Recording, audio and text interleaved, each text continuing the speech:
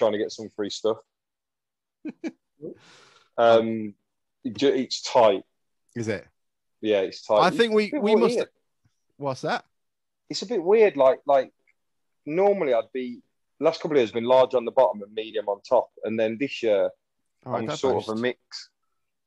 Um, yeah, but it is nice, really, really nice.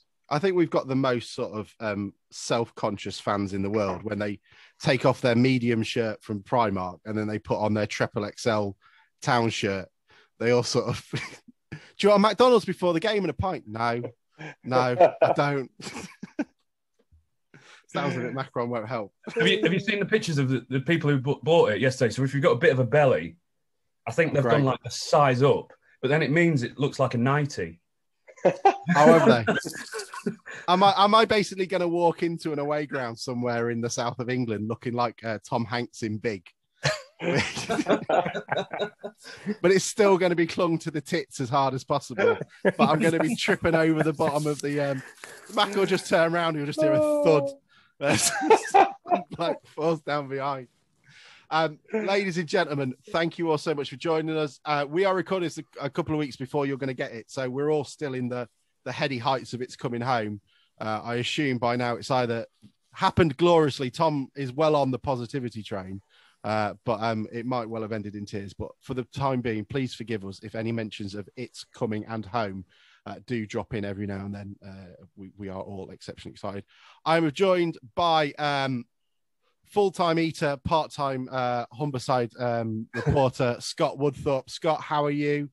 Yeah, good, thank you. It's, I'm I'm sweating actually. It's quite warm, uh, and because we're in the presence of a, a Grimsby Town legend as well. Uh, looking forward to this. You talk to Very Ian all excited. the time.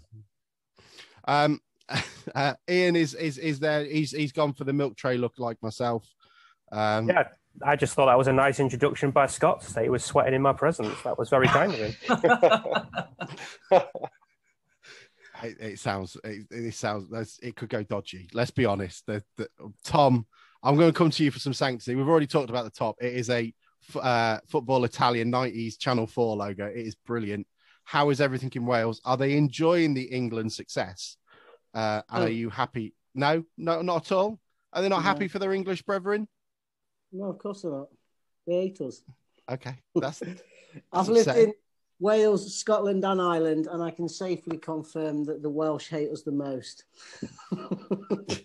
well, I hope they enjoy the next couple of weeks at least. And then, of course, last but no not least, Summer is on the podcast. Uh, James McKeown, nice to meet you. How is everything your end? rocking the Macron already. Yes, very good. Um, if anyone sees me in Grimsby, I will probably be living in Macron now for however long the sponsorship deal lasts, hopefully. How much do they give you? Do they give you quite a bit of kit, or does it oh, depend? No. Uh, uh, no, like it's like getting blood out of a stone. Um, I have managed to get the this year. Uh, we're getting our kit washed, which I'm pretty sure is the first time that's happened since I've been at the football club. So I actually haven't got any training kit at home uh, well, I mean, that's pretty impressive. I was slightly worried that it just didn't get washed full stop then. But... well, well, if you ask my missus in the middle of winter, she wouldn't want to wash it. It is horrendous. Um, but yeah, so first time that we've had our kit washed. So no, I've literally... no, I didn't know that. that's that's incredible. How long's that been yeah. for, Macca? Uh, Sixteen years by chance. yeah.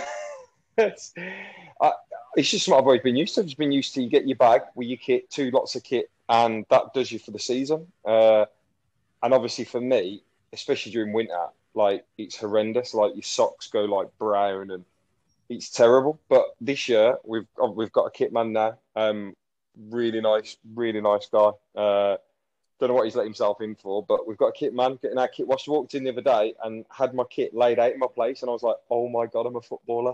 I've made it."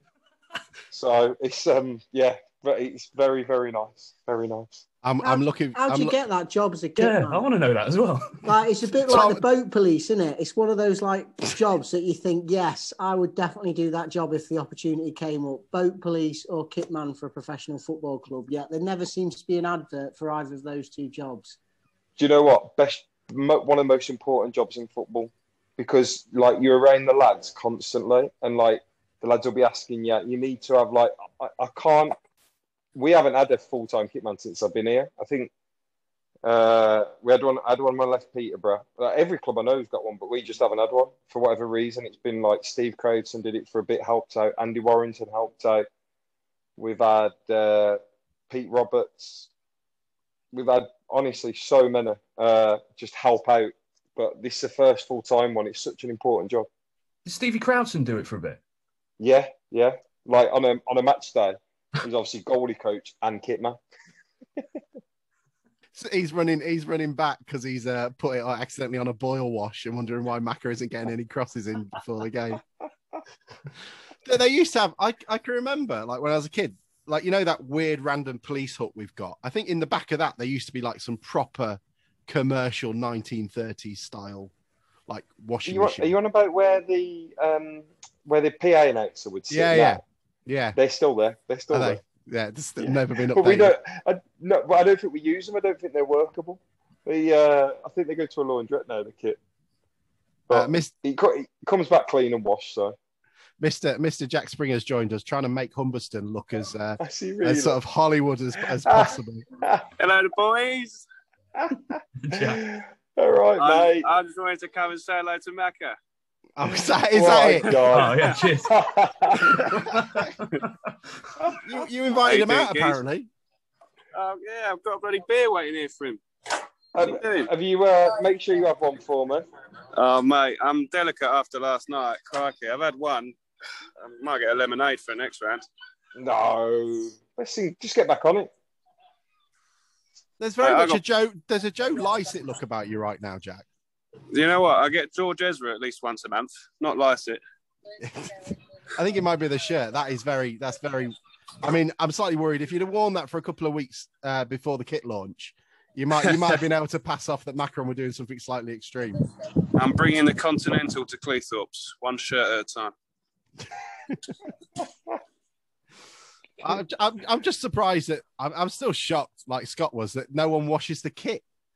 I mean, I find that pretty incredible. Like, what was because when you talked about, I, I remember I read the um the Telegraph interview um this morning, and you were saying like because we had our own training ground, it felt a little professional. What Mhm. what are sort of the the reactions? Because we we get players from everywhere now, uh, like they've had different sort of histories. What what are the reactions normally to to the setup at the club? Is it what we Um, would expect as fans? Because I was surprised that you Uh, said that. Really, Yeah, I'd say yes and no. Um, I think I think there's some aspects where, like, I mean, obviously the last years distorted it massively because of having no fans in the ground. But and like, obviously people, it's been it's just been so different, like not being able to have a share and things like that.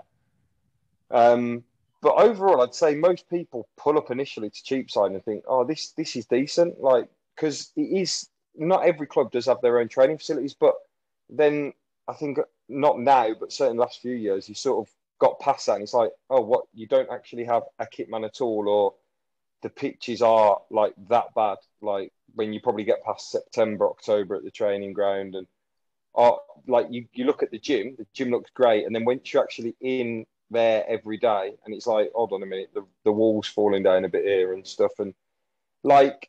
Uh, so I think I think it's mixed. The potential's always been there, but it's not ever been followed through. And then this year, we've only been back, we've only been in two days. Uh, but all of the, like, like Sean's probably the best example because obviously he's not seen it for what, five years, six years. He come in the other day and he said to me, he's like, it's, it's unbelievable, it? Like, the difference is amazing. And like, I think obviously lads that have probably joined new, like, can't believe maybe some of the stories I've heard from what it was like before. Um, so, yeah, I mean, the difference, like coming in, like I say, coming in the last couple of days has been I think everybody at the football club is really trying to trying to take the club to where he probably should be, certainly off the pitch. Jack, has- Jack has actually left. I, di- I didn't think he was just coming to say hello to Macca. Um, what is it? What's it like having your mate back then? So, what when it, I assume you might have had a couple a couple of chats before. No tapping up, obviously. We don't want Deadpool on our back, but um, like when he said, "Yeah, I'm coming." I mean, how many emojis were in that response? I guess is probably the, the question I'm asking. Do you, know, do you know what? It happened so quickly. Like the gaffer, like I've got obviously I get on well with the gaffer. We got we've got like a professional relationship, but I've, I've obviously got I've always I've always stayed in touch with him and stuff, and we get on. Never, either to me or Sean, never even hinted that he'd even be interested in signing and it happened within like forty five minutes. Um, he was he was so close to signing for Wrexham. He was like an hour, and I think he was an hour from going in to sign his new deal. And the gaffer just said, "How would you feel about coming back?" And then Sean Sean texted me, "But ring me now," and I was like, "Oh my god, what's happened?" Did, I didn't even cross my mind. Um, and the first thing I said to him was like, "Look, even no matter." Because whatever people think, like, and everyone knows Sean and what Sean's like and how much he loves the club, but it's a big upheaval for your family. Like he's he's got another child due in a couple of months, and they've got to move. Like he's travelling over here during pre-season. It's it's a big ask, but as I said to him, I said like long term, like this is like you you know what this club is like. Wrexham could be without a doubt. They're obviously got a lot of money at the minute. The next couple of years, Wrexham could be brilliant, but they're owned by some American guys. Which uh, how long does it last for? Do you know what I mean? Like the people that have took over here, whatever happens, have got the club and the community at heart. Like so, for sure. And I said to him, like, not only will you love it here, you know what it's like, but I think it's just going to be even better. Um, like I said, it didn't take much persuading, but I just think like you've got to be realistic that he had a he had a real, you know, he got settled there. His kids are at school and whatever. So, but it's good to have him back. I said to Gaffer, like I love him and hate him at the same time because he irritates the life out of me. Even though he's my best mate, was best man at my wedding. He just annoys me constantly. The amount stats, the amount of stats he comes out with are so boring. It's unbelievable. Are these football stats, or are these just telling you that Salisbury Cathedral has 135 meter spire? Oh no, no, no. He's, he's thick as anything. No, it's it's football stats and maybe football stats related to clean sheets when he's in the team and clean sheets when he's not in the team, and they always favour Sean Pearson. Always. Um, Tom, can we yeah, uh, can we do Macca a solid and just um, you keep a spreadsheet of it this year?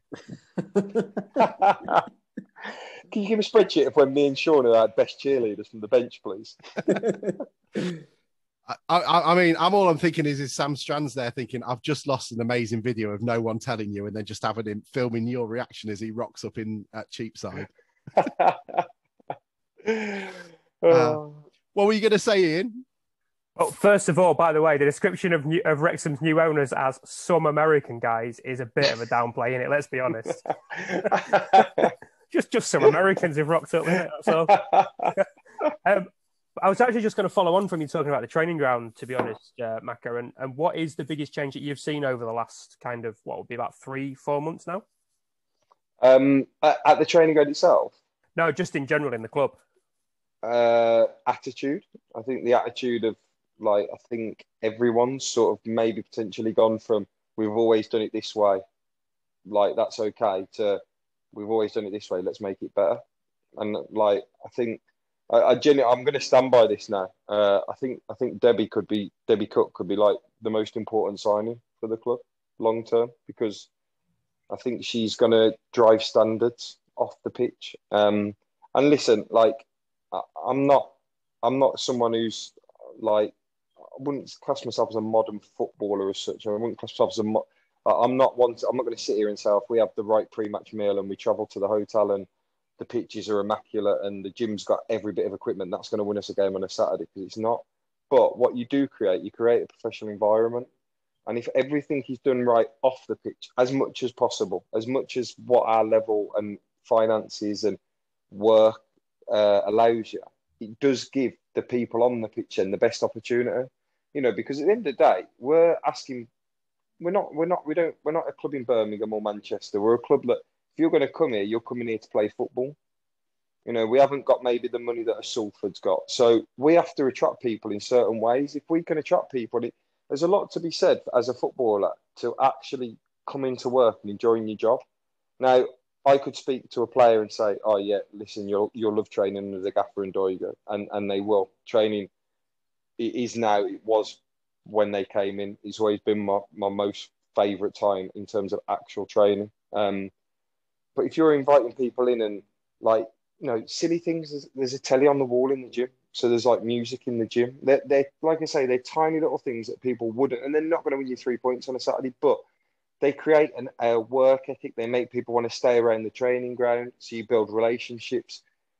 All these little things I think add up. And I think, like I say, with Debbie coming in, I think she will make sure that standards off the pitch and, and things off the pitch run as smoothly as possible. Like, I mean, silly things go wrong. Like last year, we went to, I think it was Bradford, and we turned up and we hadn't booked the pre match hotel. So um, we was sort of skating around uh, the local Morrisons to try and get some pre-match together. Um, Stephen Payne was furious, apparently. well, well, exactly. Look at look how wrong that went. Um, at least you don't lose a game because of that. But if that happens regularly and things and things like that happen regularly, it, it adds up, and people just think, "Oh, this is rubbish. I don't want to be here." And, you know, not whatever people think you know, not all footballers have an affinity to a football club. Most footballers in general are mercenaries. They'll either go where they enjoy it or where they're paid the most. So if we can't pay them the most, let's make sure they enjoy it. It's, it's, it's quite simple, really. It's a, I remember there was a story about Jose Mourinho or something saying that um, that well, I think one of the refs, I think it was Clattenburg or someone said uh, he had a chat with him when he just joined Chelsea, and he was like joking about how the r- rubbish the referees room was. And then the next time he came back, like six months later, it was a new bit new room with with sofas in, Sky Sports, 45 inch TV on the wall, and the like. He got two penalties that day, apparently, as well. To be but, fair, our ref room's got a sink in it, so. Do you know what the, the the changing rooms are? I think the bath's getting taken out. The bath that has potentially been there.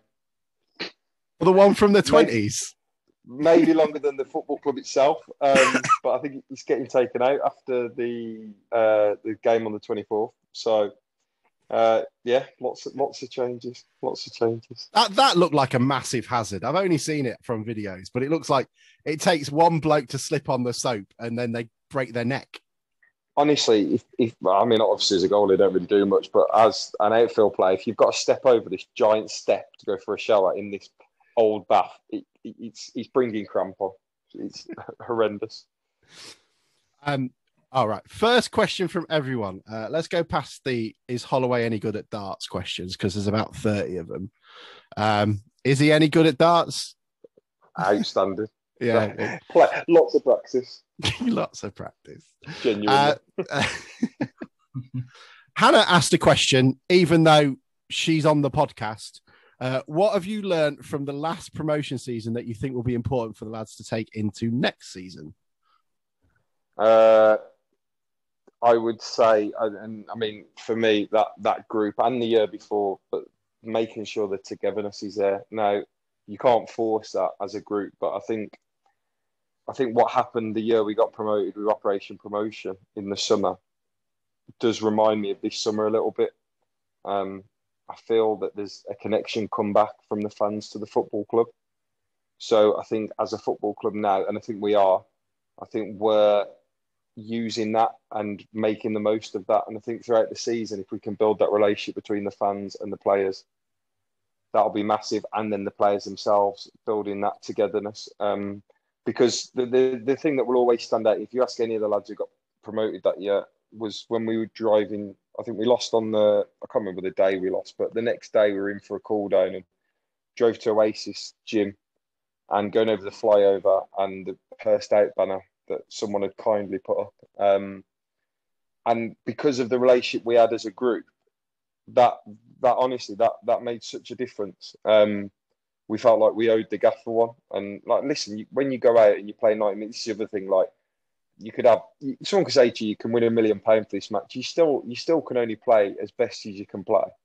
Doesn't make any difference. But just you always seem to just you know a team's together, and you look like obviously England might have at this point won the Euros, but you look at England and I look at Italy and the teams that are going deeper in the competition seem to have that togetherness. You watch them celebrate things like that. So I think we have to take that. We have to take the the good feel in the town and in the community forward now and make the most of it. Yes, Scott. What do you want? What do gonna... you want? Sorry, what question would you like to? What do you want? I was going to say. To, I was going to say to James that promotion season started with you contracting meningitis. Is that right? Yeah. Um, Pre-season. So what? You know, it's not exactly the the most ideal start to the season, is it? You know how how bad was it for you? Well, I don't know if anyone remembers my performances, but they were absolutely horrendous, and it sort of culminated in. I think I come back against. Uh, I, I was I was actually really ill. Like I wasn't. I didn't train for a week. I'd pulled out the North Ferriby pre-season game. Uh, tried to play, but I couldn't breathe. And then I went in on the Friday. More Dave Moore said to me, "Yeah, just go home and rest for the weekend." I got back and collapsed. Luckily, my missus was off work because she was like under the weather. I, I was having none of it, so she called an ambulance. And um, I woke up in bed, and the best looking ambulance driver I've ever seen in my life walked in, and I felt like, you know, you feel like a child. I was under the quilt, like shivering in, in like my training kit, probably stinking. And this guy walks in with massive, look like Arnold Schwarzenegger. I just felt like immediately I felt better. Um, but yeah, I, I, was I was quite I was quite ill. But um, when I came out, I, I, the Kidderminster was the first game of the season. Everyone remembers how good the fans were that day. Lots of people seem to forgot that I think I kicked a back pass off someone and they scored, or miskicked it and he went behind me and they scored. Um, and then Macclesfield at home dropped a cross at the back post, and then we played Altrincham away on the Tuesday, and I dropped another cross. And as he was walking off, a fan shouted, "You'll never get promoted with him in goal." Uh, obviously, silly idiot here said something back, and then the police came in the changing room, um, and throughout all that, and this again, this is something like the gaffer stuck by me, and I remember him getting loads of stick, like or what felt like loads of stick. It probably wasn't, but saying he should have dropped me and whatever. And obviously he stood by me, and, and I managed to obviously sort of turn it around a little bit. But um, yeah, I don't know. Like looking back now, and maybe I'll come back too soon, but at the same time, like I wouldn't change that because I don't mind that criticism really, because like I, I, I, like I said, I still remember it now, but it almost inspires you to, to want to prove people wrong. It's, it's Couple a of really times- interesting one. Sorry, uh, Alex. No, no, it's all right. I'm just looking through COD Almighty now, seeing if I can find any reference to him for Mackie dropping a dropping a cross. Altrincham away it was. Oh, trigger. Hey, you'll find a few refer- a few references to me dropping a cross. That's for sure. Was Alt- was that was the Altrincham game the goal that didn't go in? Oh, yeah, that did. Yeah, sorry, yeah, it did. yes, yeah, yeah. It That was a night game. Yeah. Um, and that, yeah, and I dropped like, but uh, people are different, and like our fans, uh, especially our away fans, are so passionate, and like I, I like that. Like, uh, there's been times when I've like had a nibble back when people have said things, and I actually, I actually enjoy playing with that because, like I say, I've always enjoyed trying to prove people wrong. I don't know if that's maybe a mindset of a goalkeeper because you are on your own to a degree. Whereas I've had players come here who are honestly Louis Saws. I don't know if anyone remembers Louis Saws. Yeah, yeah, yeah. Yeah, he said his name was Luis Suarez, didn't he, when he first came? Yeah, well, I, I couldn't remember what foot he was. He was unbelievable. He honestly in training, he was unbelievable, and he was just an example of for me a player that just couldn't play in front of our crowd because because of the pressure. Everyone reacts differently because he had so much talent, so so much talent. And that, that away end at Altrincham's brutal, isn't it? Because you're right, the away fans are right on top of the goal net, aren't they? Yeah, they are literally next to you. It couldn't have been a worse game to do it in. The, the, the guy who shouted it was about four foot away from me.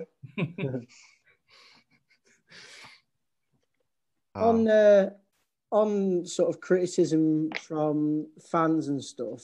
Um, obviously, that drives you to improve. Uh, have Have you got a goalkeeper coach this year? And when you had Andy Warrington as a goalkeeper coach, did you think? Uh, I, I guess Steve Croudson's done a bit over the years. Well, did you think that um, that brought your game on a, a lot? Um, like over the 10 years that you've been in the club do you think that's massively helped Yeah, um, I couldn't. I, I'd put I'd put my biggest influence down potentially as Steve, to be honest, as a coach. Um, I had two things with Steve that I thought he was brilliant at, and I think that's probably why he's at, he's been to Hull and then he's obviously at Lincoln now. Um, he absolutely demands from you, and he also backs you 100%. We used to have like proper arguments, like I mean, people definitely my missus state, but um, the gaffer probably would still like I'm still like a bit stroppy and whatever, and for a tantrum and like if if me and Steve clashed over something, we'd clash, but it would be forgotten straight away. And like like I say, you are you are on your own, and like when you come off and you've made a mistake, no matter what people say, you, you go to bed and you sat there and you think about it and stuff. Steve was brilliant, like unbelievable, like that. As a coach, he was fantastic. Loved the sessions, and like I say, demand. We worked really hard, and he put me on a diet when I first came, which made a massive difference to me. Um, he just and like he sort of introduced me to the gym, um, which I've carried on throughout my whole career. But he was like, I knew no matter if he if he thought I should have saved a goal or something, he'd tell me to my face. But he'd also back me to the manager, and not many goalie coaches do that. I've noticed over the years. Uh, a lot of them are quite happy to sort of the manager says he should have saved that, he should have come for that cross. Yeah, yeah, he should have done. But then they'll say to you privately, "Oh, yeah, you couldn't couldn't really done that." So I don't like that. I like that honest relationship. And and Woggy was the same. Andy Warrington was like the most nervous man I've ever met. Like the most nervous man. We we played Braintree in the playoff semi final away, and he got steaming in the bar the night before. And all he kept saying to me in the moment was, "I can't do this again. I can't do this again. My head's pounding. My head's pounding." That's like, you ain't even got to play. You only got to sit there with some sun cream on. Do um, you do you think that the um the relationship because the, way that this team has been set up before is that your goalkeeping coach can at times be essentially your the next in line to to be keeper. Do you think that sometimes is a conflict of interest? Yes, without a doubt. It definitely has been, without a doubt. Um, like Woggy, Woggy did do it when we were back in the conference because, uh, but Woggy didn't want to do it. Woggy had no interest in playing. He'd, he'd, he'd absolutely no interest in playing when I see him put his elbow pads on for training, he's just giggling. Um, but yeah, it's hard because, like, for me, I don't care if I'm 31 or 21. I want someone to want to improve me and want to push me, and I still think there's elements to improve me. Like, of course, you, you're obviously a lot more set in your ways with stuff, but whether that's the right training or what, you know, you can be improved. Uh, whether that's mentally, physically, off the pitch, on the pitch. There's, there's loads of ways. Um, and I want, and you want someone to do that. But it's obviously very difficult if someone also is doing that but wants to play or wants to take your place. So it's, yeah, yeah, yeah, yes is the answer to your question. And, it, and, and I, I guess a kind of related question: How nervous are you for your position now? Sean is back. oh, I'd tell you what, he's not bad either. He's not bad, which pains me to say. I um, do you know what? And this is the other thing, and I say I've said it so much, and people, are people, are, if I'm playing badly, people are like, "Oh, he's got no competition." But I just think that's really disrespectful to at times some of the goalies, like because we had Greg Fleming uh, one year when he played, he didn't concede. He was he was actually really good, but I'd done enough to to stay in the team, and like we've had some good goalies, like really good goalies, and when we haven't had good goalies, potentially, or we haven't had what you would class as what some people would class as competition. Like I think a couple of years ago under Michael Jolley, when there was like we, I think for whatever reason we didn't really have a, a second goalie as such. Um, I probably had my best season, so I don't buy into the competition because I just think that you you push yourself no matter what. And I'm like, if I if I'm lucky enough to start the season this year and I have a stinker for the first three games, the gaffer, whether if he's bought someone in by then or if he hasn't bought someone in, he's gonna bring someone in. Like I'm not an idiot, so you know I don't. Yeah, I, I think that competition is. Uh, I think you know your place is always under pressure, and in football, people are always looking for the next thing as well. So I've got 12 months left on my deal. Like I've no doubt that the gaffer's looking at keepers now, and even potentially for next year because that's what happens. So you're always fighting against that. So it doesn't really matter if someone's in the building or not for me. Did uh, did Stevie ever tell you about his debut with Wolves? I assume that might have come up. That has come up many, many times. And also, what came up when I first signed was I don't know if anyone remembers this, but Kettering away the year before I signed. I think that's uh, did he dislocate his shoulder or his elbow mid game? Yes, he he done so. He was playing. Uh, I think Dave was caretaker at the time, and I think they had a long throw. And all like, oh, Dave will tell me this all the time about crowds and just stood on his line shouting, away, away. he has every right to bring up that Wolves game. Best ever Grimsby Town debut, in my opinion. It was Brilliant. amazing.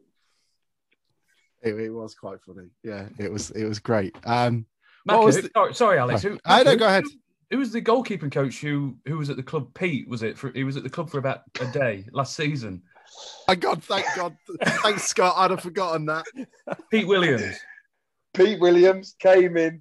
To, For the uh, for the tape. is anyone uh, going to see my? James, fa- Yeah. James has got his hand in his head, the head in his hands.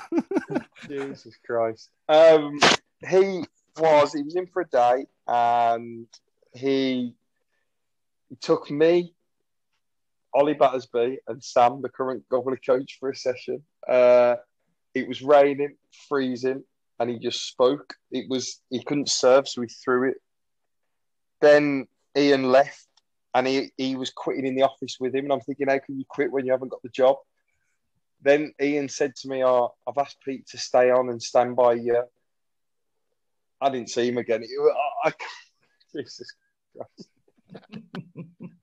Jesus Christ. Oh, I'm going to write a book on that.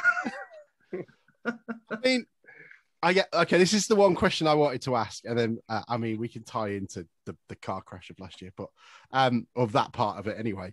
Um, WhatsApp groups. That that this is the serious question I want to ask a current player because I can't ask Steve Livingstone because he was still using Blackberries or whatever it was. Uh, but um, is there an official club WhatsApp group?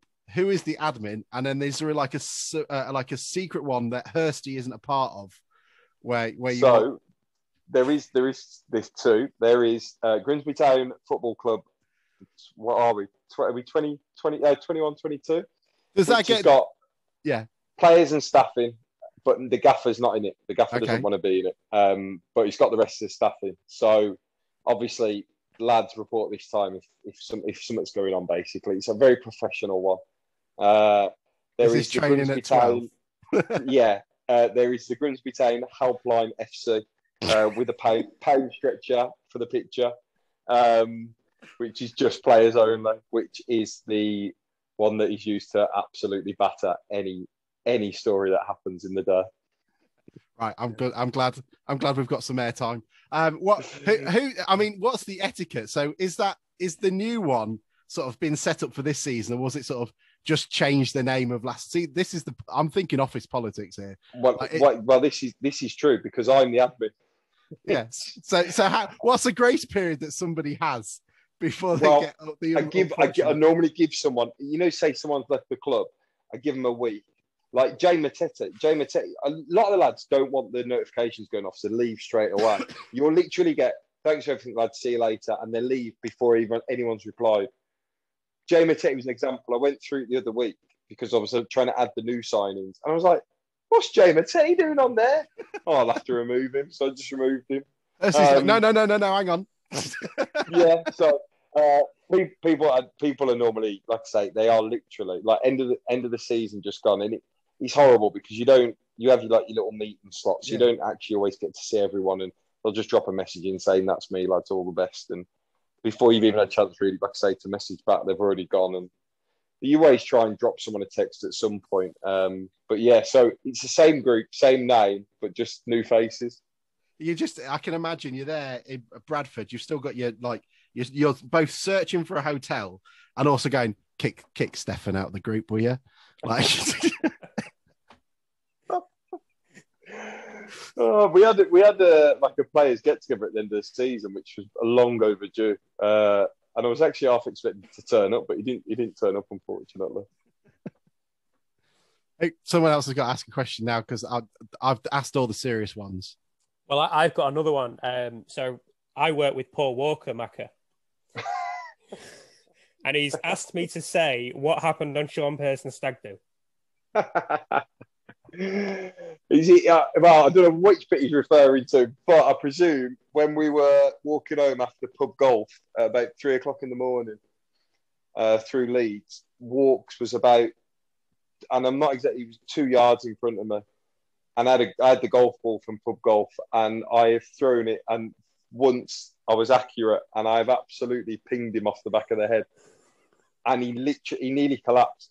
But the best bit was I denied doing it. There was no one else near me, and I just kept denying it. But he was that drunk. He was like, oh, and he just rubbed his head for about forty-five minutes. Um, but yeah, yeah, Walks is a great lad, great lad. Look forward to him tackling tackling someone in a couple of weeks' time when we play Cleethorpes. Well, I wouldn't get too excited about that. I've seen him play real recently. It's when we find Paul is running straight towards Macca for no particular reason. And it's, it's like, he's going two footed here. What's he doing? Holding a golf ball at the same time. Um, right. Questions from everybody. Uh, I, I guess who's been the most naturally gifted footballer during your time at the club? Was that Louis Swarzos? No, Scotty Neilson. Scotty Okay. Neilson was my god. He used to. He, I, can't, I won't say this because I can't say the gaffer's name. I wouldn't even, even to my missus, I wouldn't say his actual real name. Um, but he used to call the gaffer like by his proper name at times. Like he just was the most bothered lad in the world. Like he'd go on a night out, get steaming, he'd come in for training. But what a player! Like, and in that team, he was exactly what we needed. Like at that time, because we had we had a lot of people who worked hard. Like Lenny and Ross worked so hard up front, and like I think Derek Niven was in that team, and he was an absolute workhorse. And like we had people who worked so hard. And Scotty, when he came in, I remember the game against Luton at home. I think we won three one. Might have been on the telly, and he was just ju- like he just had moments of like utter brilliance. He could. It's such a shame that he probably didn't play. I had all the ability in the world, but he was just uh, the one of a better phrase. He was just a lad. He just he just was a lad. He just wanted to go out, girls, drink and whatever. But like talent wise at the club, he was he was unbelievable. Uh, he looked like Yeah, that's it. Yeah, exactly that.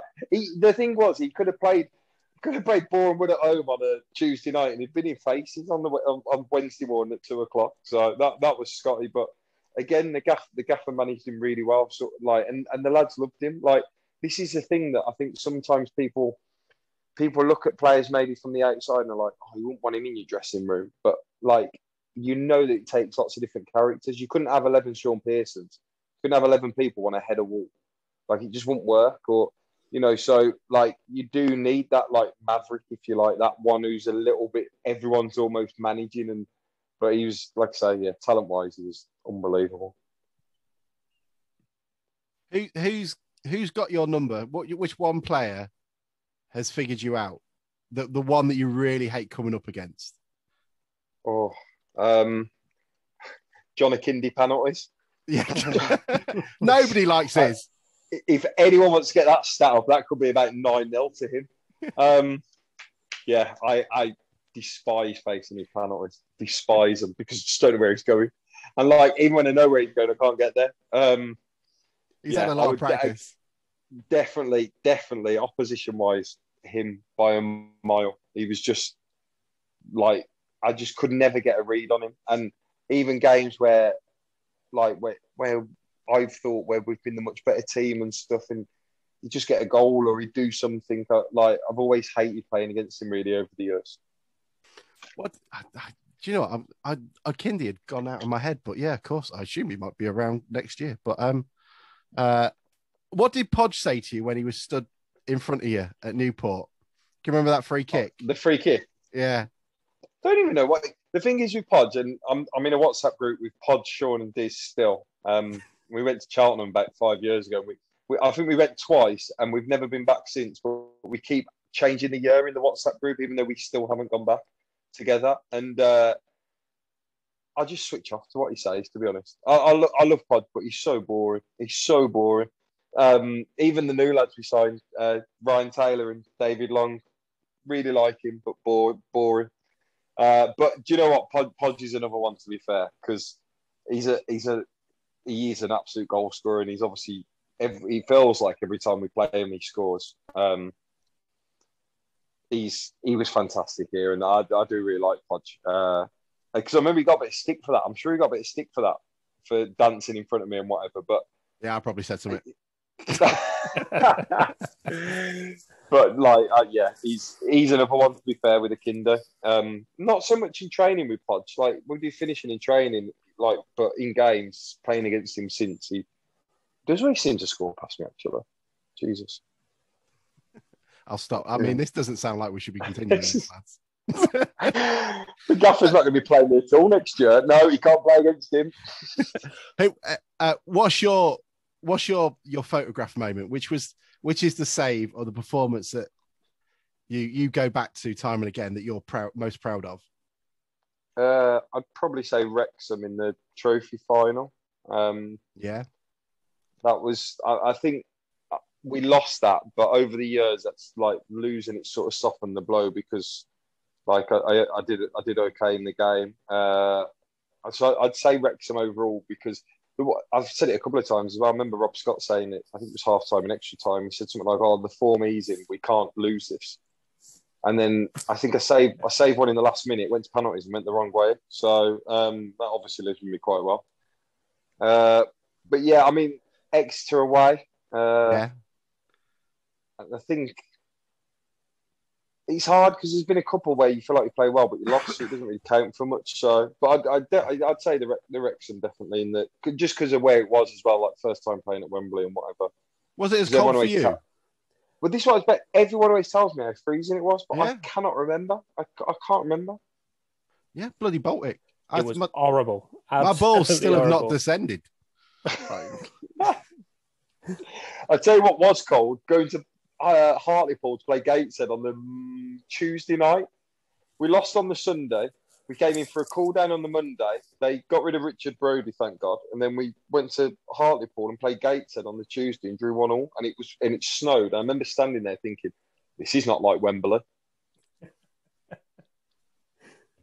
You say thank God there. Quite a few people who we've interviewed have said that Richard Brodie was not that bad in the changing rooms and things like that. So that's a bit of a, a turn there, Macca. Do, do you know, like as a lad, there's there's not been many that I could sit here now and say, "Cho, I didn't get on with him or we clashed or whatever."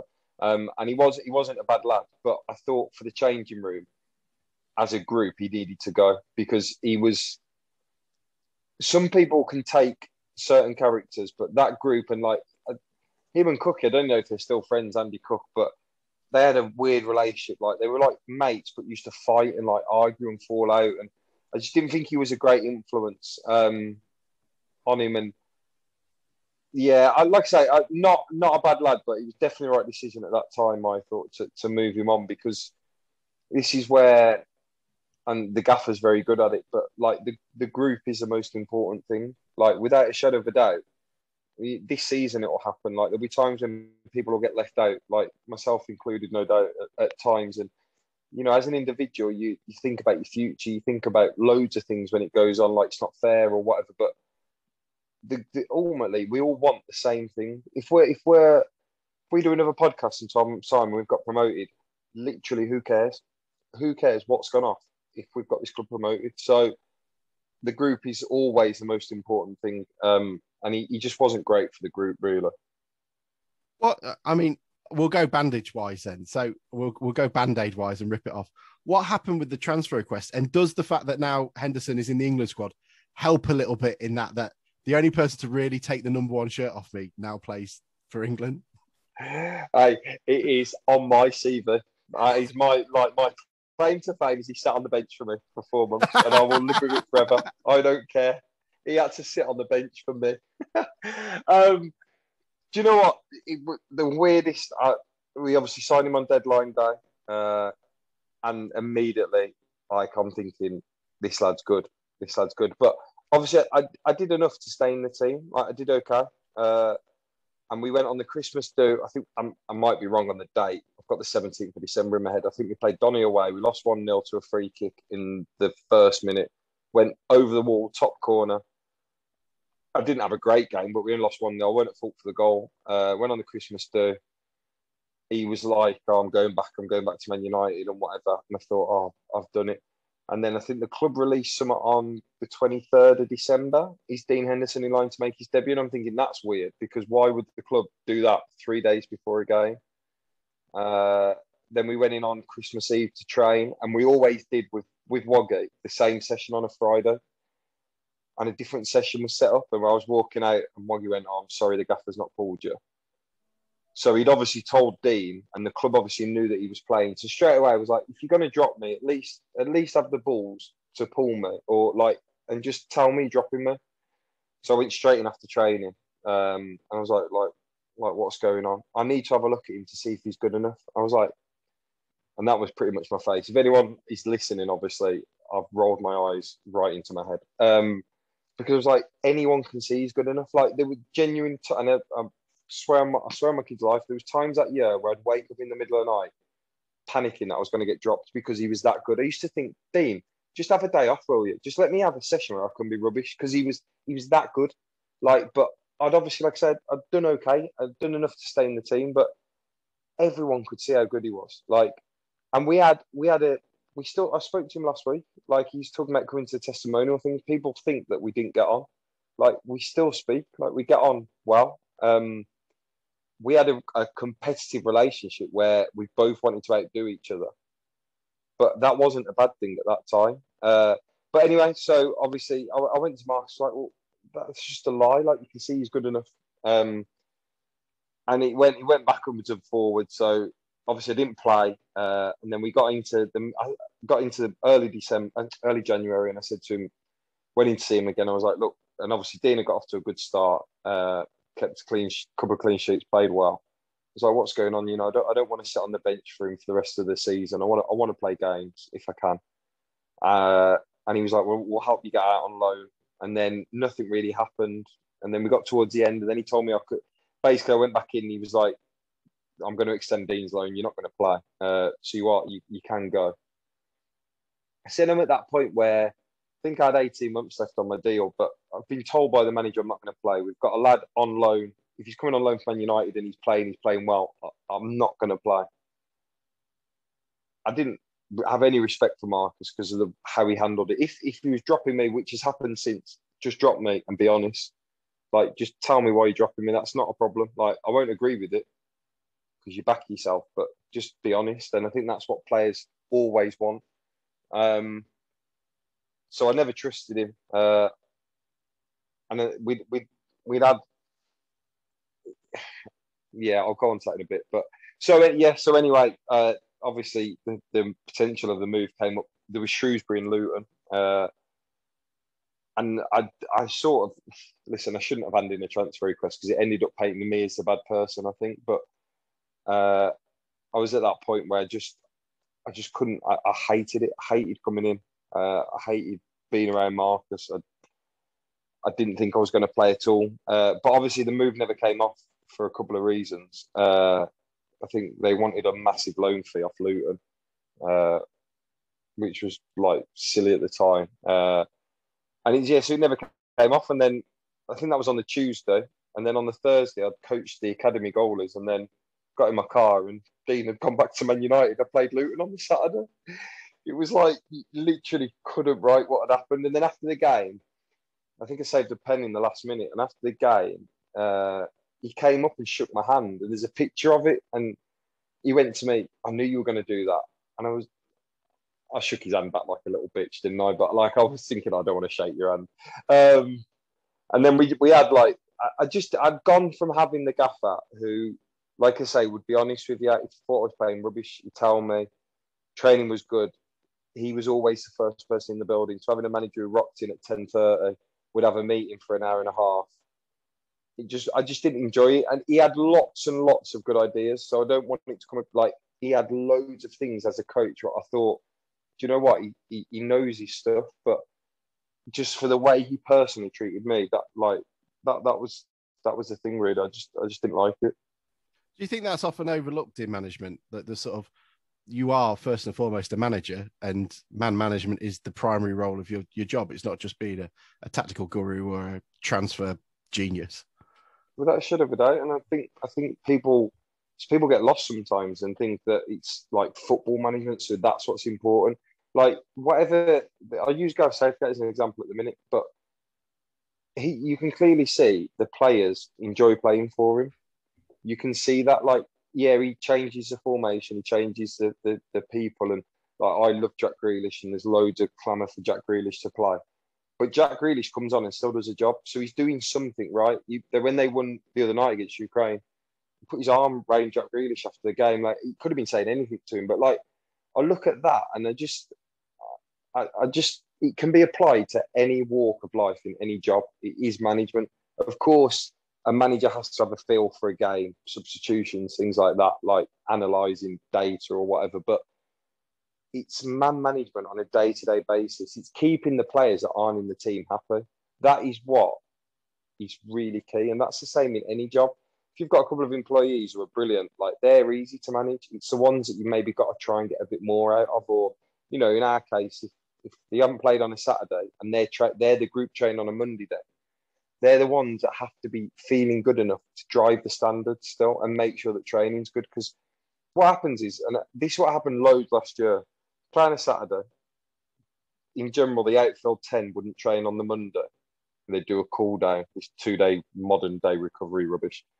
So the lads who didn't play would train, and I would always train because it's I've always preferred to train. Uh, so I'd try, and the standard was nowhere near the same.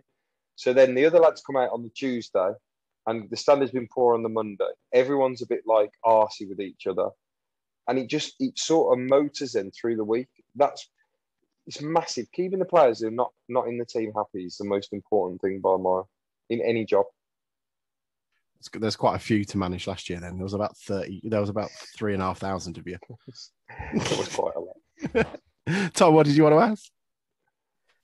Yeah, I was just wondering. You touched on um, Rob Scott there when you were talking about the trophy final. I remember when Paul Hurst and Rob Scott first came. Uh, I think we played Darlington, and I was in the pontoon stand, and Rob Scott had an argument with um, a few fans after the game because there was a lot of criticism.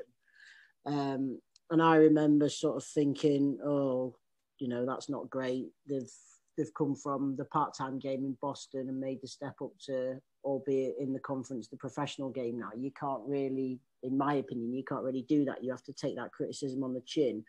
For you personally, what was the? Because obviously you'd been on loan um, from Peterborough at Boston in a season when they'd done fairly well under Scott and Hurst. What was the difference coming from Boston to Grimsby for you, and, and, and was that a big change? Um, it was obviously I was on, I was on loan at Boston, so I used to actually when I signed at Boston, they said I only had to train on a Thursday night, and I could still train at Peterborough. And I still I ended up basically training on a they trained a Tuesday and a Thursday night. I still trained on a Tuesday and a Thursday morning at Peterborough, and I just did the Thursday and Tuesday night still. So in terms of my training, I actually was doing more. Um, I remember that game so well. Uh, that I think we lost three one that game. I'm sure Shaun scored an own goal in that game. I'm sure he did. Um, I'll check for you.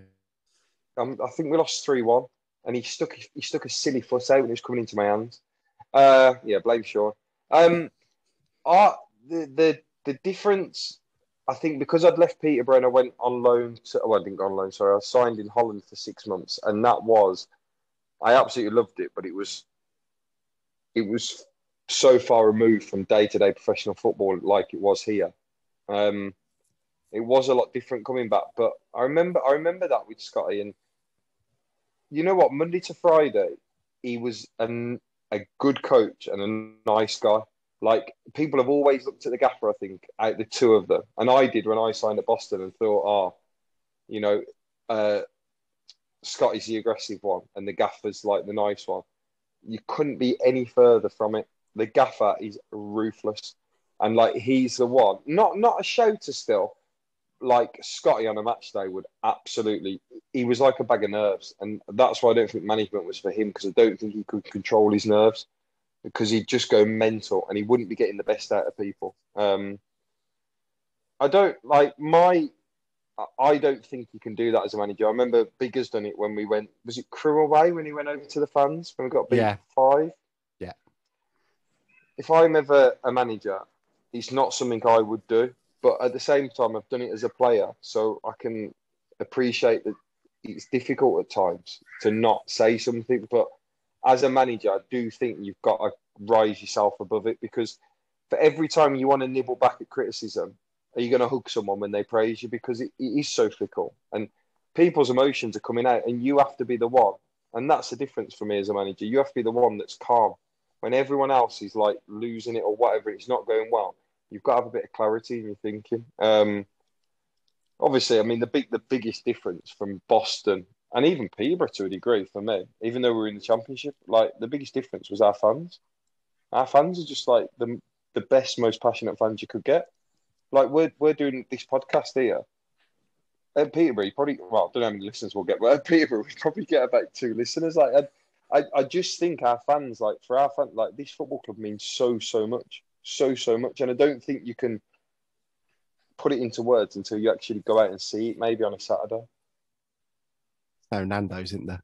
That's that's what changes it. Second Grimsby and Cleethorpes get a Nando's, all attention will leave. You're not wrong. You are not wrong. Do you think that'll help attract a, a higher caliber of player going if we have a, a Nando's sort of within at least half a mile, half a like half an hour of town sort of thing? That's that's my major thing. I'm, I, I am 100% on board. Like I literally, I exercise to eat, and I need a Nando's and various other food outlets. The one thing that everyone is always amazed at when they come in is you've got a Taco Bell. I'm like, yeah, right. like what a Taco Bell? There's no Taco Bells around. Like, no, there's one in Grimsby. Please, Reading, Reading's got a Wendy's now. I didn't even know that was a thing. Where is it? I didn't. I didn't know it was a thing anymore. Uh, we'll, get, we'll probably get a little chef. Yeah, yeah. Oh, we used to. Oh, that. Where is it? That um, Birchin Way. La- and the Laceby Acres, isn't there as well? Laceby Acres, where yeah, there's yeah. that new petrol station and the Greggs. Yeah. I, I had my fifth oh, yeah. birthday party in there. Mac and cheese. it was rancid. Uh, speaking of speaking of food, James, what's what's the? I've seen all the players get uh, a Domino's delivery after after a game. What's what's the crack with that? Is that you know is that is that is that your your request? It's my, it's what my kids eat every every Saturday because I cannot stand it. The the play the players don't like it. Like so, it's it did change a bit. To be fair, towards the end of the year, Greg, who's the sports science fitness coach, sort of like lads sort of said to him, "Look, we can't have any more Dominoes." Because was getting to the point where we're having all these Dominoes delivered and no one was eating it because it was just every game. Like away from home's a bit different. I understand because we haven't had the facilities to say cook or whatever you know, when we've because our driver uh, does Hull's first team, and like they'll get on the bus and I watch Ben Foster loads on his YouTube, and like they've got a chef after a game. It's like, oh my god! I remember at Wembley after we lost to Bristol Rovers, like I'm heartbroken, but I remember thinking, God, this food's a good spread. Like they had like spaghetti bolognese out the back and all sorts. I'm like, oh my god, yeah, here we go. Um, but yeah, so I get I get away games that Domino's is easy, you can get it anywhere. Um, Forest Green do the best ones. They're called Fat Tony's. They're, they you live for them. But home games, we like changed up a bit at the end of last year. And this is another thing, like where I think we used the counting house quite a bit in the end. Uh, and their pastas and stuff were, were really good. But the Dominoes, I basically I just get a few. People think I must be so greedy. Like, I look at him walking out of a Dominoes. I just tell the kids I'll bring my Dominoes home, so they're they're buzzing. So yeah, we we've got a bit more of a say in it now, and like I said, I think that's another thing that will change moving forward, where um, the food will be what I'd, I'd, say proper food probably after a game, where it's like pasta and that, because yeah, the Dominoes is just a convenience thing really, and it's right. It's, it. it's, not about carving up then after having spent it all. Yeah, that's it's like that is basically what it is. It's just to get as many carbs in you as possible. Um, but you just get to the point. I know it sounds silly, but you just get to the point you see the same pizzas coming out, and it's just like, mm, nah. So, uh, but yeah, it is uh, after a game. I mean, I, I am actually quite good Monday to Friday in terms of what I eat. A Saturday night, I'm horrendous. Like it's an absolute blowout, like to the point where you're feeling sick that you can't breathe. Um, so, but yeah, that's that's the way I tend to do it with my food. I'm slightly disappointed now. I was thinking there's a way of getting a free Domino's now. If I just stand around the back of the wind, the main yeah, stand, banging out the window. That's... Just wait because in six months' time we'll probably be sick of the chef's food or whatever have so you'll be getting that. Pizza platters from VKH are getting thrown in. well, someone said someone reckon I've seen on Twitter the other day. Someone was on about um, oh, what was the square pizzas in the marketplace? Uh, um, on Freeman Street. No, uh, the one in Cleethorpes, opposite next oh, to Vegas Grill. Yeah, are they any good? I, I don't know, James. I'm an athlete. You can you know, see by looking. yeah, you've seen how many curry houses around St. Peter's Square? He's not going anywhere near it. Yeah, to be fair, to be fair. Oh. Oh, that's that's slightly worrying. That lads, anyone got a question? Because uh, why? I guess actually, San Marino. I didn't. Was that a real thing? And how far along did that get? Because I mean, I was Um, watching him going. He's not bad actually. Their keeper. Yeah, I know. How good was he last time? They played. Was it England they played? He was really good. Yeah, I said Yeah. to my missus, I said, oh, imagine that go for San Marino being on the bench for them. That'd be a new low. Um, no, it is a real thing. My uh, my mum's dad was from San Marino, and I, I am eligible to play for him. Uh, his name was Rossini Moriaca. That's how you say. Um, but he left basically when my mum was 13. Um, her mum died, and he left and went back to San Marino. So obviously, my mum had never spoke to him since. Uh, she went into a children's home. Long story, but like lost all contact. So when the link came about uh, through Dal Ladson, he, I think he knew a photographer at Juventus, and that's how the sort of link happened. And they contacted and said that they basically needed a birth certificate or proof, and went back to my mom, and mom obviously was like, "I haven't got anything," and and that was the end of it, unfortunately. So unless someone comes off with his name, because I've had a look, because it can't be that many Racina Moriacos who came to England in what the late forties, early fifties, and then left. But I can't, I just can't find the guy. So I, I um, was just yeah. assuming Moriaco is just. I've I've heard enough commentators butcher your surname in in in the past as it is. oh no, I um, but yeah. So I mean, listen, the the one the, outside of playing for Grimsby, playing when I played for Ireland was like one of the proudest moments of my life. Like, and I would love to have played for or been involved in the squads for them. Um, but I'm at the point now where I can't see, unless I've lost my number, I can't see a phone call coming. So, international football at any level for any team I, I'm taking. So, um, I qualify for Spain as well, but I don't think they're going to give me a call either. I mean, uh, if you keep if Henderson can keep De Gea off the bench and you can keep Henderson off the bench, I assume. I mean, that's how it works, is it not? Uh, Do you know what? I might put that. That's it. That's it. I'm, I'm going to write him a letter. Uh, to be fair, I've seen you do what Unai Simon did the other day, Macca, to be fair. Which was that? That was uh, the one where we went to control it and it rolled in instead. I think it was Oh. Danny Collins, wasn't it, in front of the pontoon? I, did, I didn't even make the ball to get that one. I'm still chasing it now. Are you slightly worried that you're going to be mixed up between a steward sometime next season? Because I mean, that is one, day glow out orange. You are too standout. The best thing was, I'd seen someone put on Twitter about, oh, I hope that's not green. And I watched a montage of the Macron, uh, the, the kit launch, and I'm pretty sure I've seen Nigel Batch running out in a green kit. And Nigel Batch, one of our best ever goalies. And again, green can't be that unlucky for a goal at this football club. It's, it's, Um, it's worth reminding everyone what we play on. Well, it's like this is. I mean, the green thing. I know. I know it's something to do with the fishermen. Uh, I, I do get that, but literally, the best goal is in our history of worn green. Like, I don't. I'm, I might be wrong about Steve Sherwood, but obviously, I know Nigel Batch did. Um, and oh, I'm having a memory blank. Edit this out. That's all right. We're all really young, so you know we know we know absolutely every goalkeeper past Paul Crichton. Paul Crichton. Uh, Aidan Davison must have had green on.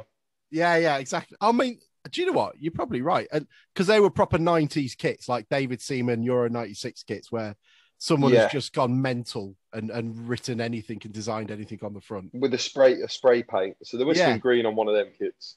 I'm quite surprised they weren't actually one of those shirts you used to get in the '90s, where you used to put a hand on it and then it used to change color.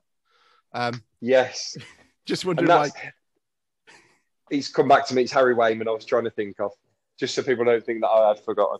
But he wore green as well. So better, a lot better goalies than me have worn green for this club. So maybe one day I'll get a, a green one. what was is which which one do you dislike the most? Was it this season's uh, goal for yourself, or was it was it the Danny Collins one that really? Would they be classed as the Mm. the, the, The Danny, clangers? the, Danny, the, Danny, the Danny Collins one, I actually doesn't bother me at all because Yeah. It's his fault. I was, pro- oh, yeah, it's his fault. But oh, I mean, I was probably over, over outside where I needed to be. But in the grand scheme of things, if he looks, he plays it and he looks at me and passes it to me. No one is ever going to have this conversation because I'd have just kicked it. I'd have, even if I'd have missed it, gone out for a goal kick or a corner. So it, the Danny Collins one was just a freak thing. The one where I've passed it into my own net was horrendous, absolutely horrendous. Uh, I mean, Jesus Christ, I've had a few. Let's be honest. The one, the one that always stays in my mind, weirdly, was out Gateshead away in the playoff semi final. Obviously. oh Um, yeah, of course. Yeah, oh, of course, yeah. um, Well, no, the uh, only reason that- I say that is it reminded me Danny Coyne had something similar for us against Blackburn. So he'd obviously Yes, I've seen absolutely that. Kicked ass. And Mark Hughes was the Welsh manager. And like for we will obviously carry the baton for you now to join San Marino. But there was obviously a massive clamour for him to become way and obviously Mark Hughes is there, Welsh manager, and within five minutes it it just went through his arms. Is that he, just looks around at the pontoon going, Well, that's that then, innit?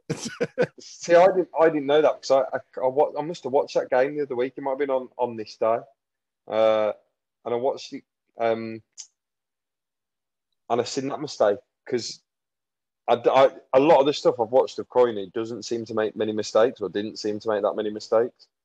Uh, but yeah, so they a Gateshead away, and we had Gateshead at home when Nathan Arnold scored two goals. We won two one, went one 0 down, and they had a cross in about the third minute, and it just it was in the it felt like it was in the sky for ages, and I just dropped it straight in my net.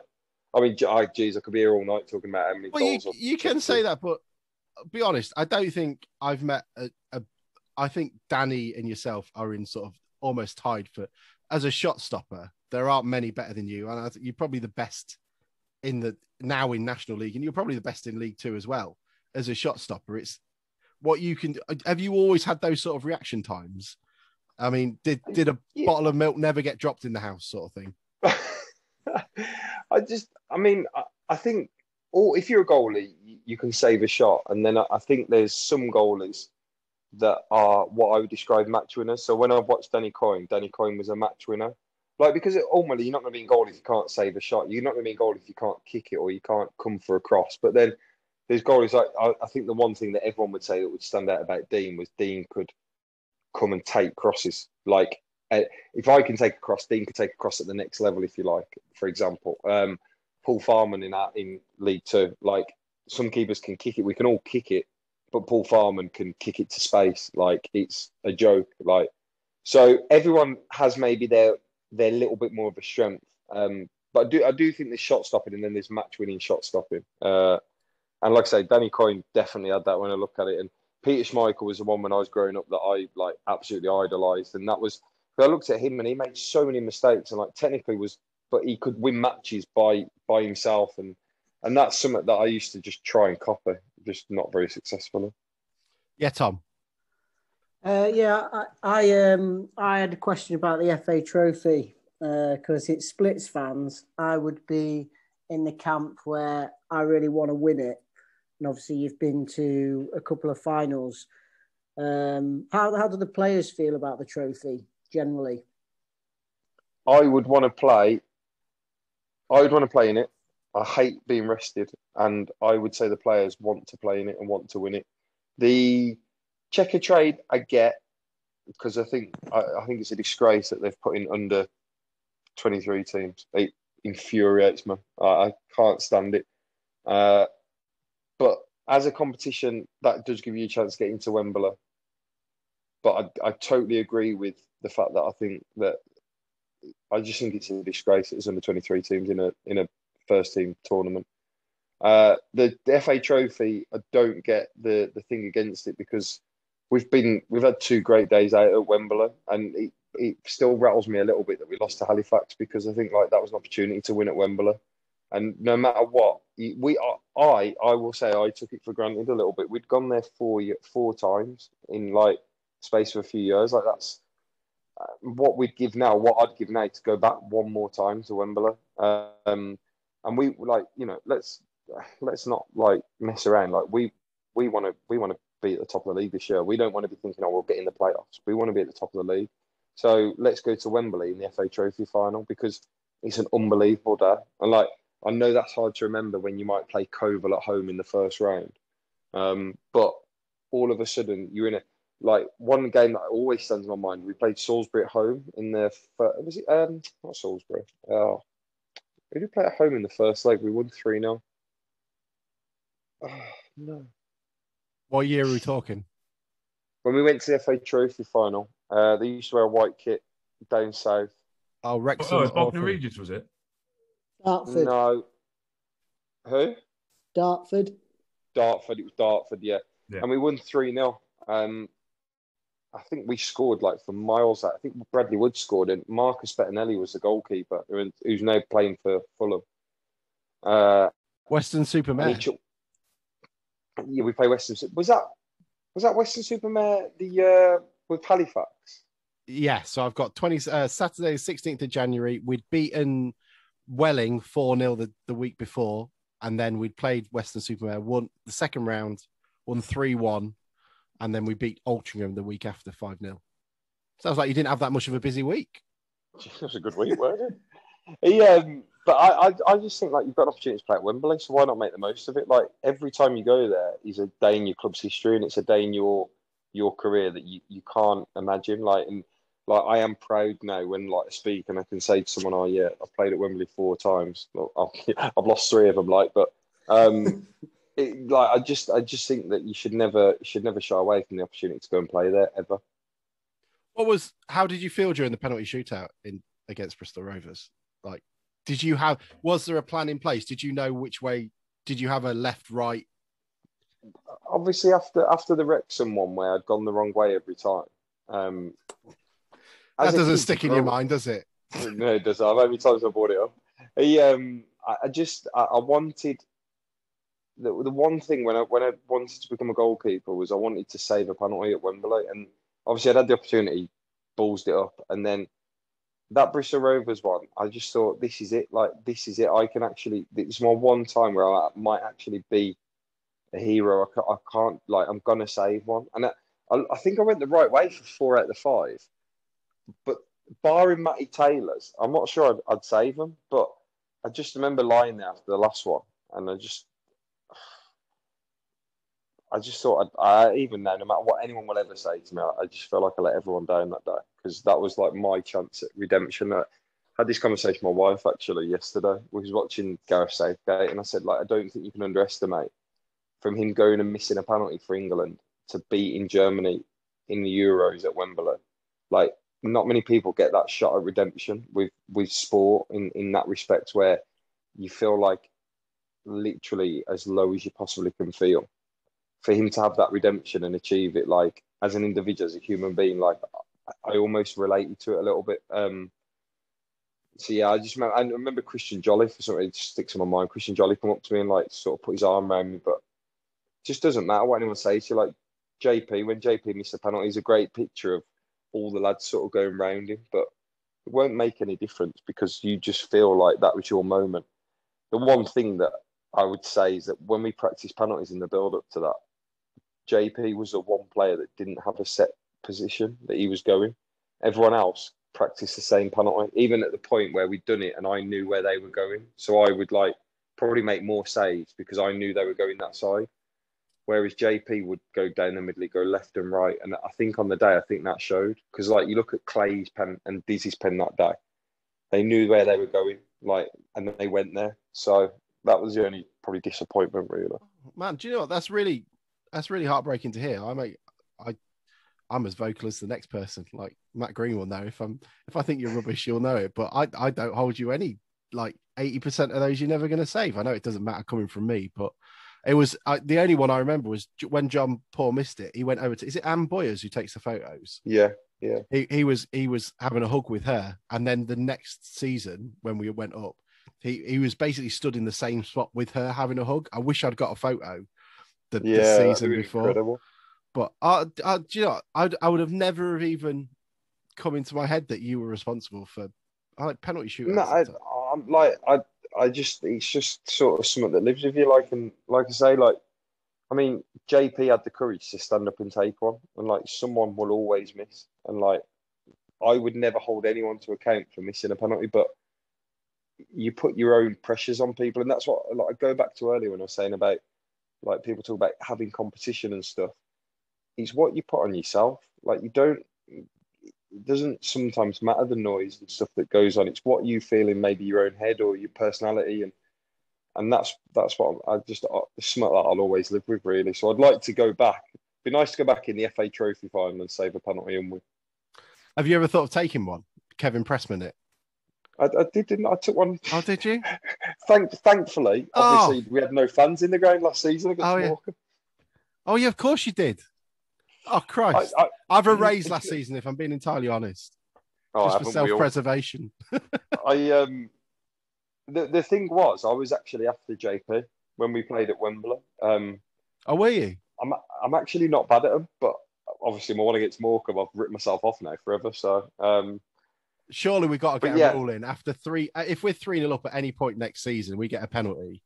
Surely they've got to let you, you know, sprint up, and then let Pearson just go in goal for for five five minutes as rush keeper.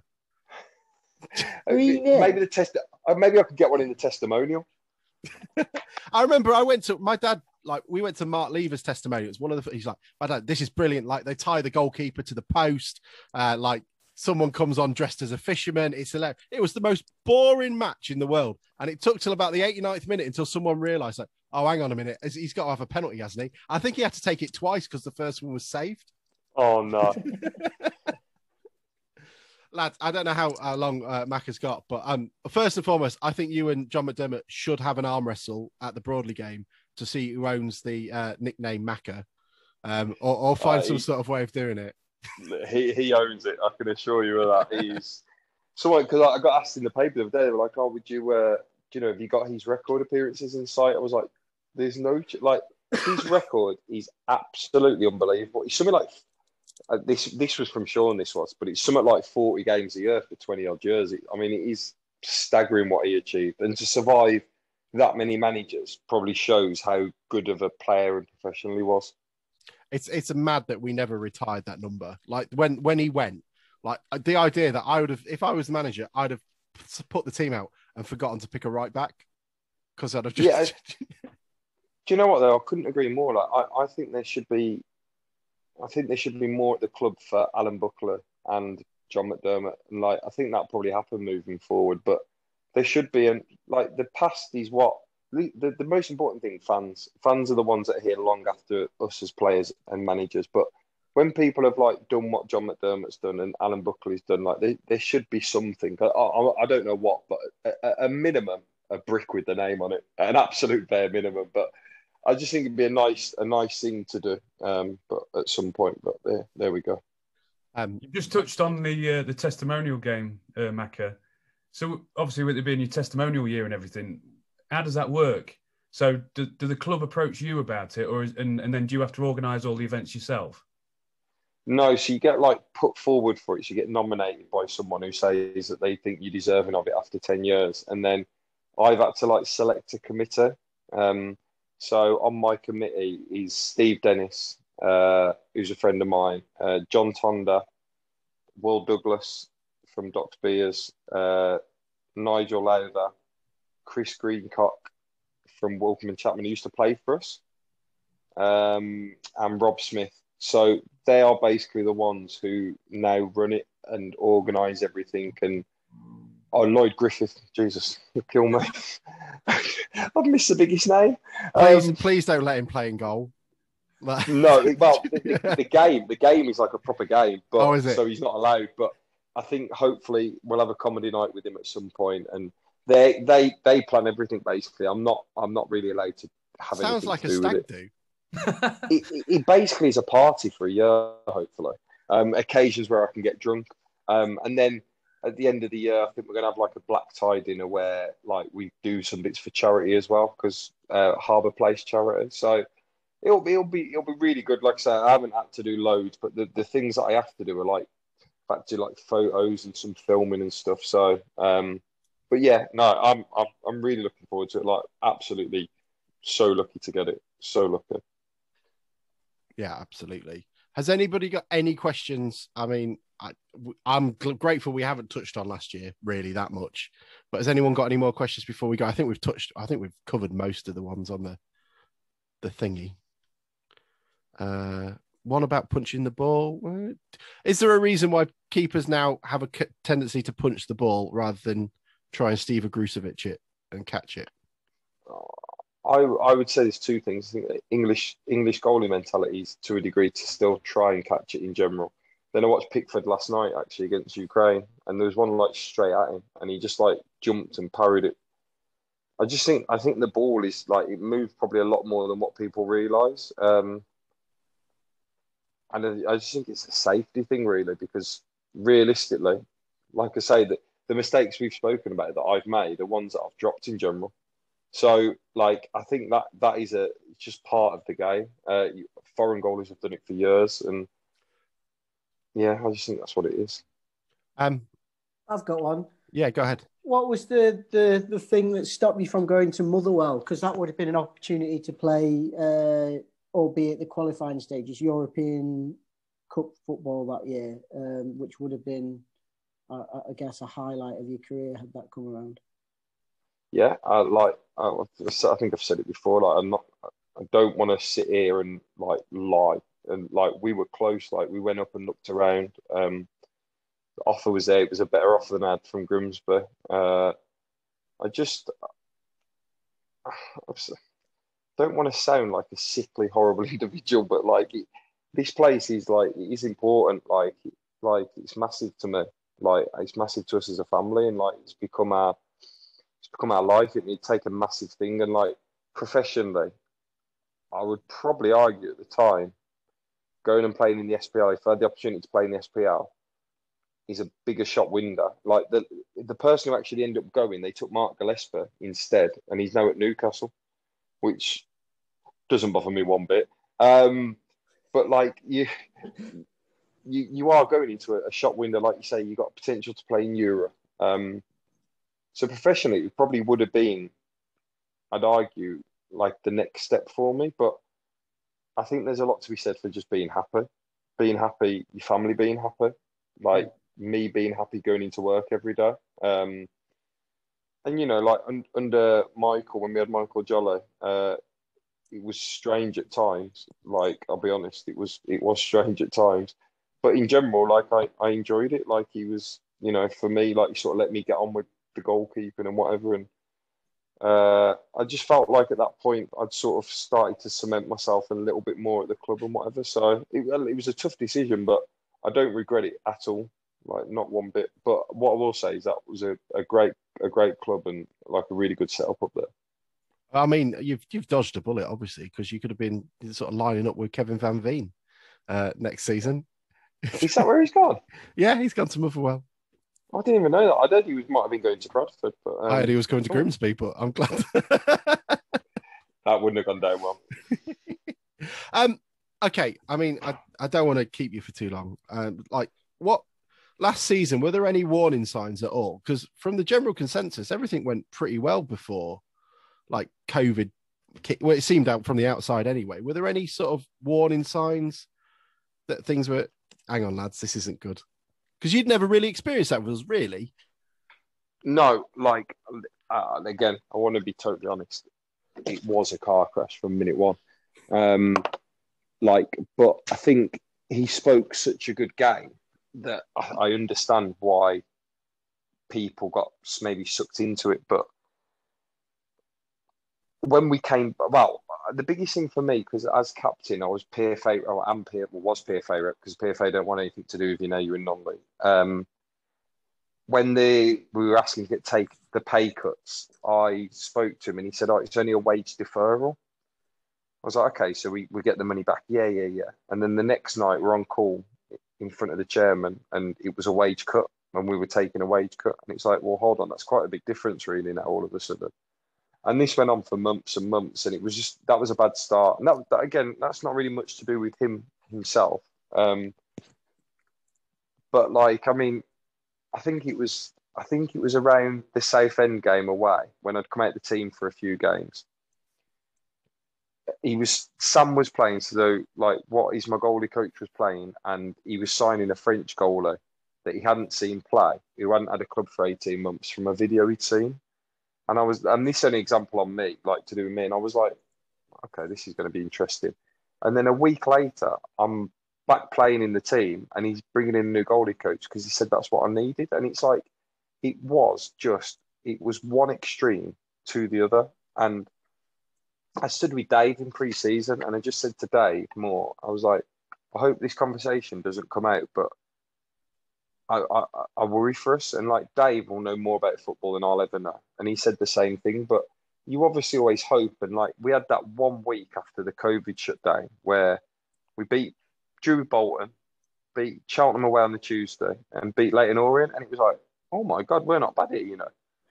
But then, but then, like things would happen where, like, I mean, I Trump Tranmere away when we were 4 0 down.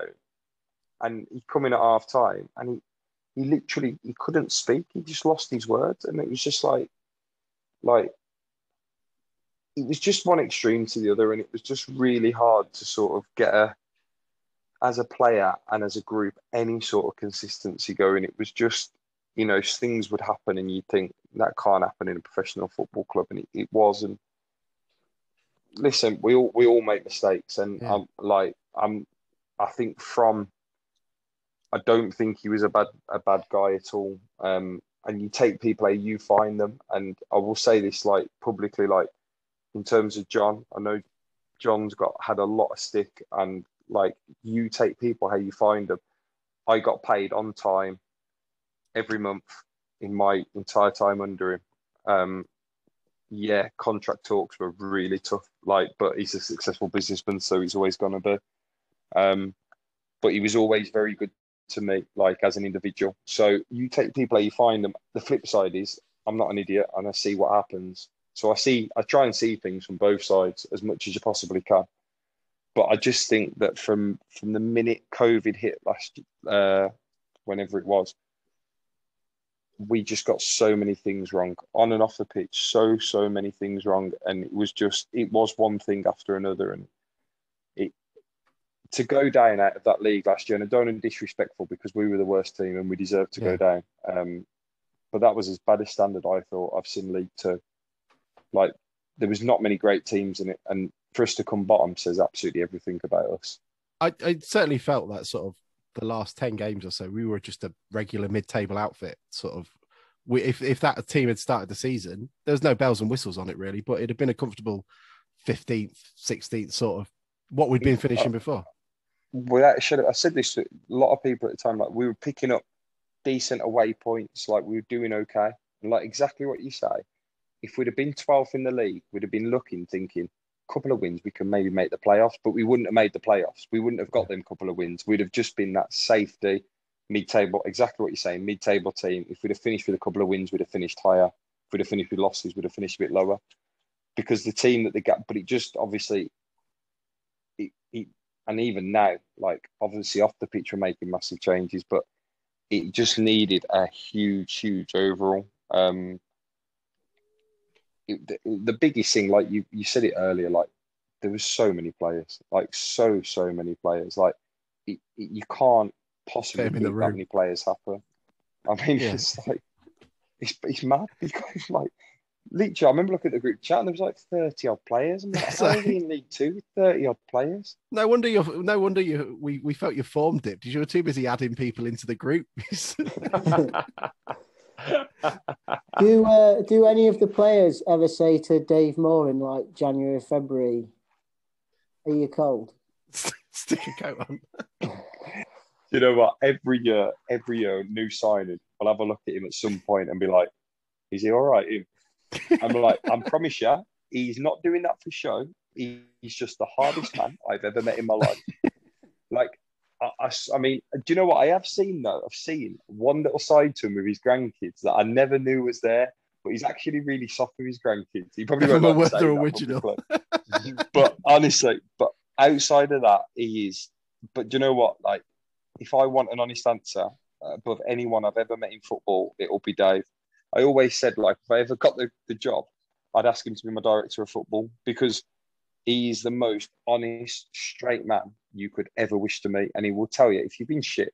Know, the, when he says to me after a game, "You could have saved that," And I'm just, I, I might as well, even if I think I, I couldn't have saved it, I just say yeah because I don't want to disagree with him. He's um, ah, Jesus, he's some guy. That's another one. Him and him and his whole family probably should have a statue outside the club. Just, Is it just this week, James? You get the beast in off Dave pre-season. Uh, do you know what we used to? Oh, God, I hope this don't come this week. Oh my, that's reminding me. When, when the this gaff is not. was here We're not first doing very time- well. when the gaff was here first time, we used to like we'd go for a warm up with Dave, uh, uh, an afternoon session with Dave, and the start would be core. We'd do like a plank.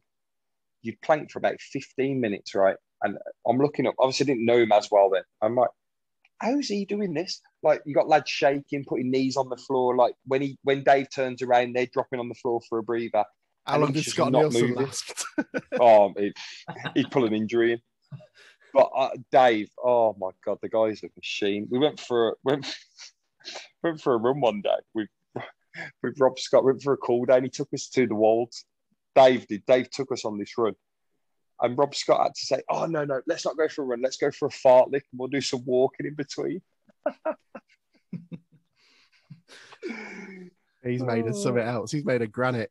Like, Oh my word! I've never met a man like him. Is there any, um, lads, anything else to add before? I mean, I assume Macca's got to put his kids to bed at some point. Like, Ho- They hoping they're asleep already. um, what is there? Is there anything over? I mean, your career's hardly over. Uh, it's like, is there? Is there anything you took for granted, like over the last ten years? What do you think the one thing, looking back, did we at the club? Um, I'd like I said, I think I think definitely. Do you know what I think? Two, well, three things actually have just come to my mind. Uh, going to Wembley, I think for me personally, took for granted. Uh, I think fans. I, obviously, I've never imagined of that feeling of playing in front of no fans. But my God, it's horrendous. Like horrendous. Like the sooner someone comes back and boos me, the better because it is been horrendous. Uh, and I think I think as a club, I think after my first year here, I think as a football club, we got we did get used to winning games of football, and I mean that in a good way. I think we should get used to winning games of football. But then what happened is we got promoted, we didn't capitalise on it, and then we got used to losing games of football, and we started to get an acceptance to, oh, it's Forest Green, they're at the top of the league, that's okay, we've lost that game. It's like, hold on a minute, it's Forest Green. We've got 20 fans. Like, I don't care like about it. We're playing Forest Green. We're at home. We're Grimsby. Like, and I think I think that acceptance sort of grew a little bit. And I mean, hopefully, hopefully, like I say, we're, we're out of that now. And no, I know the gaffer. I know he works, and he, he will not accept anything less than. No matter who we go and play this season, no matter where they are in the league, we'll be going to win a game. Yeah, I can imagine. Um, man, I'm looking forward to it. I mean, it's I, I, by the sounds of it, you might not be next week if uh, Moro's there with his uh, with a I don't know, like some whipping hand, I guess, some sort of riding crew. We, do you know one one day I one we, we had Russell Slade and the game had got snowed off and it was a Thursday and he gave us to the Monday off. But the carrot for getting to the Monday off was that Dave was taking us for a run and it got snowed off and we ran from the ground to uh, the leisure centre. I had to play football on the beach and run back. But every couple of every mile or whatever, he'd get down and do press ups or core, and we'd have to carry on running. And I, I'm not exaggerating to you, now. It's just uh, it was a tough run anyway. People were running. It was that cold. People were running three three coats, and he had shorts on. He had a hat on, but he had shorts on. I have never been so cold in my life. That's I Is any consolation? My dad went to school with him, and apparently uh, he was just like that at school as well. Like he'd be, you know, they all played football together, and he'd be there like before the game doing press ups and that in the dressing room before they went out and stuff. So that's Jesus Christ. Pass my consolations on to you, Dad. he's fitter for it. I'd like to see like any. Just go to the most uh, pessimistic fishy posters, the ones that really give grief, and then just get the, the punishment every season is they have to do a training session with Dave Moore, just to sort of you know, and the players can sit and watch from the main stand, just just throwing abuse as we're all we're all farting out of our ass after about thirty five seconds, and he's still sort of hanging off the goalpost. Um, man, I, first, Jack Johnson has asked me as well if anybody would like to do Macca a greater service um, and and do anything for the program which will come up for the testimonial, we would be delighted to hear from you. Um, so um, please do send in anything. Uh, we'll happily uh, he'll happily get it in there because sounds like it's going to be a bumper edition um, as as Macca's year long stag do is is underway. um, man, it's been a genuine pleasure. Thank you so much. No, thank you. Genuinely, thank you for having me. I've been waiting to come on for a long time. So yeah, Oh, for- really the, the, the the invitation is always open. I mean, even I'll if I just do said- it Jack Spring next time. I'll just pop in say hello. Yeah, just say. Like, I mean, that's all he ever does. Uh, um, old Joe, old Joe Lycett. Um, and so yeah, thank you everyone for listening. Um, I was going to say it comes out in a couple of weeks, but you're listening to it now. Uh, thank you very much. See you later. Uh, I um, stop. Yeah, video. thanks. Thanks very much. Oh no, Right. hang on. I've stopped.